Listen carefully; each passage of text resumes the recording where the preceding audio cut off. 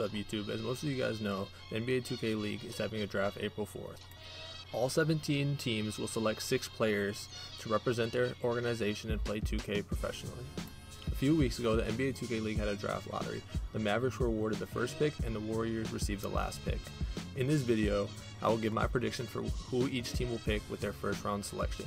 This will be the most accurate mock draft you can find anywhere. Let's get right to it. With the first pick, I have the Mavericks selecting Fab. Fab is considered by many to be the best point guard in all of 2K.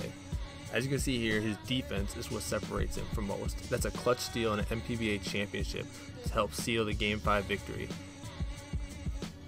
Fab is a great offensive player too, as you see the isolation here and a beautiful pass to the corner. He's one of the best passers in all of 2K. Fab is a great all-around scorer who can score at all three levels.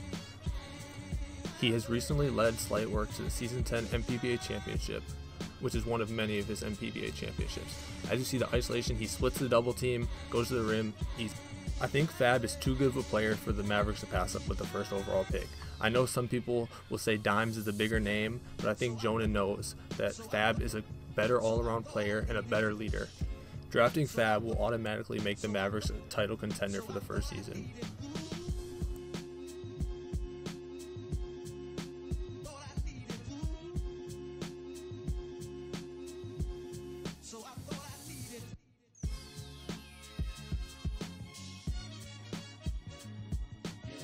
The Celtics are the owner of the number two pick in the draft, and I and with Fab gone, I think they still can get their number one player on their big board. And it's not the guy you expect, not Dimez, but it is another point guard, and that would be Compete. The Celtics drafting Compete is a great pick. With Compete, you get amazing leadership, great offense, and great defense. He's an all-around amazing player. Just like Fab, Compete is coming off of an MPBA championship. He also led his Pro-Am team, GFG, to the 2K16 Road to the Finals Championship, where he unfortunately lost to the Drucker Here it is competing a 5 out isolation.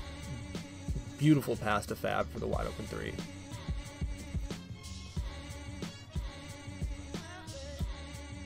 Compete's leadership skills are what separate him from the rest of the point guards. He's a natural leader that knows how to motivate his team and get the best out of his teammates. The Utah Jazz have the third pick. And with the third pick, I have the Utah Jazz selecting Dimez. Dimez is the biggest name in 2K, and after winning the 2K17 Road to the All Star game, he's considered by most to be the best 2K player in the world. Dimez has also led his Pro Am team break out to several MPBA championships this year. The reason why I have Fab and Compete going over Dimez is mainly because of defense and leadership. However, the Jazz are going to be extremely happy to land Dimez with the third pick in the draft. Dimez is a great scorer and he gets a lot of slack for his defense, but it's actually not as bad as people think it is. Drafting Dimez will turn the Jazz into automatic championship contenders. With the fourth pick in the draft, I have the Kings selecting Mooty, aka Big Shot Moot.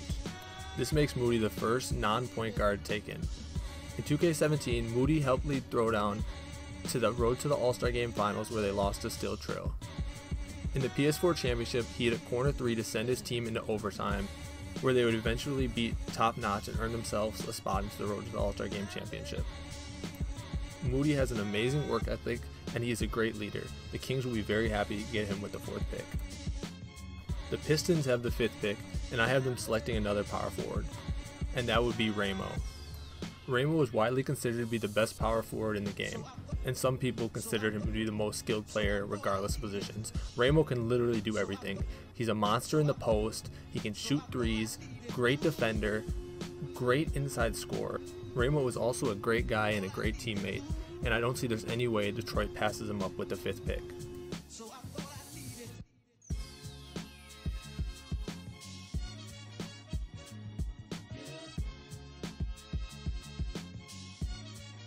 With the sixth pick, I have the Portland Trailblazers selecting one Wild Walnut. Walnut put up crazy stats during the combine, and he finished with a record of 91 and 9, averaging 34 points, 17.8 rebounds, and 5.3 assists, while shooting 73% from the field. Walnut was also a part of the slight work team that just recently won the MPBA championship, but in my opinion, his combine stats will make him too much for the Trailblazers to pass up on. The seventh pick belongs to the Miami Heat, which is run by you famous enough. And with the seventh pick, I have the Miami Heat selecting Timely Cook. Timely Cook was a part of the Steel Trio team that won the Road to the All Star Game championship. He is considered by many to be the best defender in all of Pro Am, and he's a great all around player that can do a little bit of everything. With the seventh pick, I don't see there's any way Famous passes up on who he considers the most skilled player left on the draft board. Timely will bring a winning culture to Miami, and don't be surprised if you see this team compete for an NBA 2K League championship. With the eighth pick, I have the Orlando Magic selecting Hood. Hood is a very patient point guard who is an amazing passer and can score on all three levels. Hood is from Florida, so he'll be right at home in Orlando.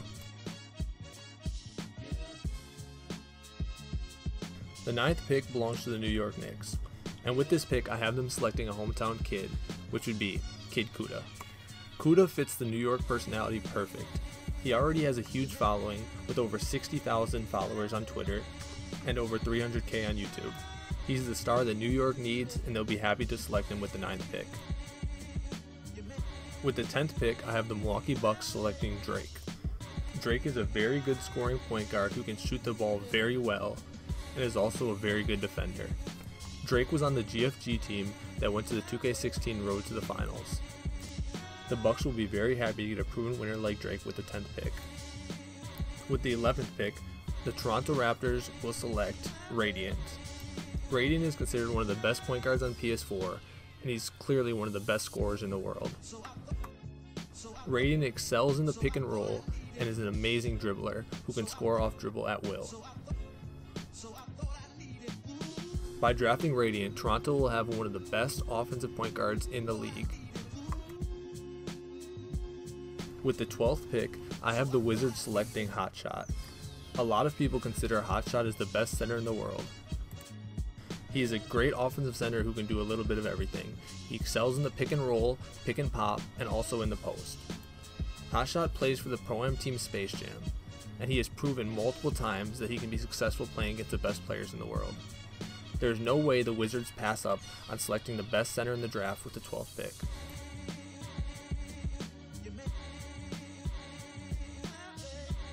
With the 13th pick, I have the Indiana Pacers selecting Nate.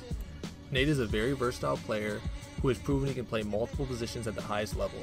He's an exceptional defender that has extremely high IQ. He is also a knockdown shooter and very smart on offense. Not only is Nate a great player, he's also a great leader and an even better teammate.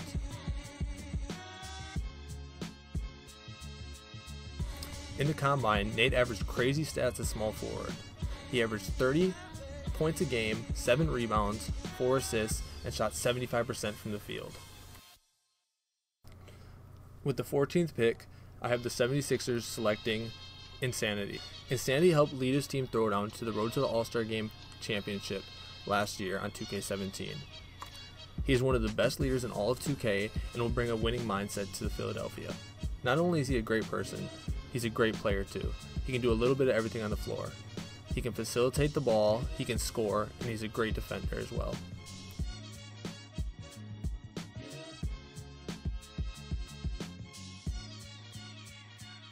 With the 15th pick, I have the Memphis Grizzlies selecting Kenny Gotwork.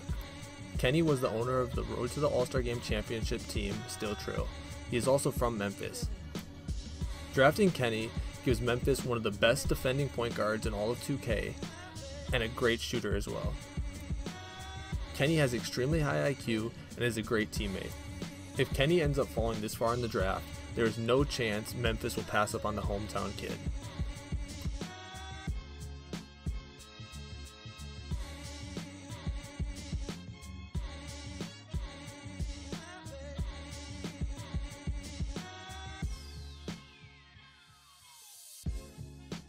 With the 16th pick, I have the Cavs selecting Sick.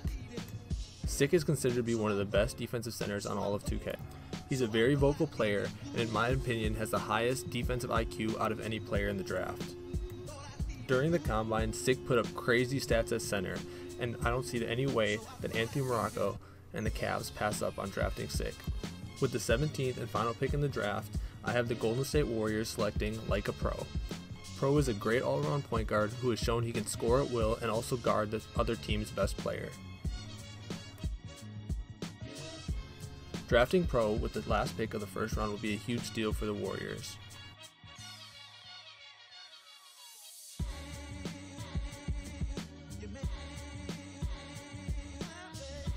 That wraps up my mock draft.